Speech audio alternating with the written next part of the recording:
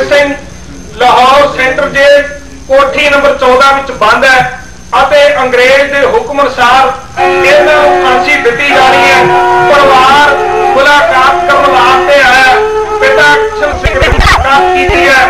ਆਪਣੇ ਪੁੱਤਰ ਨੂੰ ਇਹਨੇ ਦਲਵਾਰੀ ਦਿੱਤੀ ਹੈ। ਧੀਰਜ ਬਣਾਈ ਹੈ। ਆਖਣ ਲੱਗਾ, ਪੁੱਤਰਾ, ਅੱਜ ਤੂੰ ਮੇਰਾ ਨਾਮ ਦੁਨੀਆ ਉੱਤੇ ਉੱਚਾ ਕਰ ਚਲਿਆ ਭੈਣ ਅਮਰ ਕੌਰ ਆਈ ਹੈ।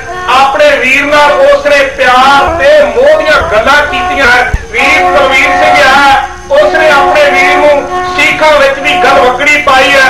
ਪਰਿਵਾਰ ਦੀ ਮੁਲਾਕਾਤ ਕਰਦਿਆਂ ਅਖੀਰ ਮਾਂ ਦੀ ਵਾਰੀ ਆਈ ਹੈ। ਮਾਂ ਆਸ ਕੋਲ ਸਰਦਾਰ ਭਗਤ ਸਿੰਘ ਦੇ ਕੋਲ ਗਈ ਹੈ।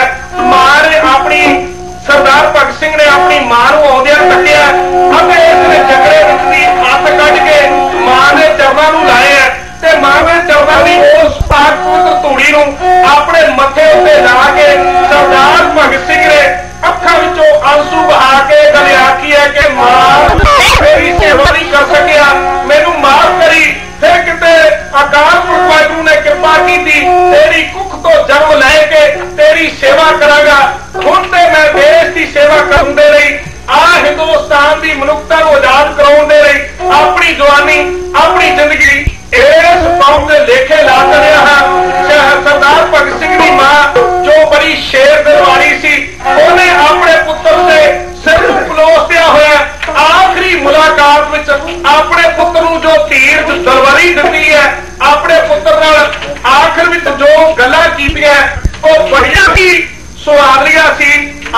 ਪੁੱਤਰ ਨੂੰ ਆਖਣ ਲੱਗੀ ਭਗਸਿਆ ਮੈਨੂੰ ਉਹ ਯਾਦ ਹੈ ਕਿ ਜਦੋਂ ਮੈਂ ਤੈਨੂੰ ਛੋਟੇ ਹੁੰਦੇ ਨੂੰ ਦੁੱਧ ਮੱਖਣਾ ਨਾਲ ਪਾਲਦੀ ਸਾਂ ਤੇ ਮੇਰੇ ਮਨ ਦੀ ਖਾਸ਼ ਸੀ ਕਿ ਮੇਰਾ ਪੁੱਤਰ ਜਵਾਨ ਹੋਵੇ, ਪੜ੍ਹੇ ਲਿਖੇ ਆਪਣੇ ਪਰਿਵਾਰ ਨੂੰ, ਆਪਣੇ ਘਰਵਾਰ ਨੂੰ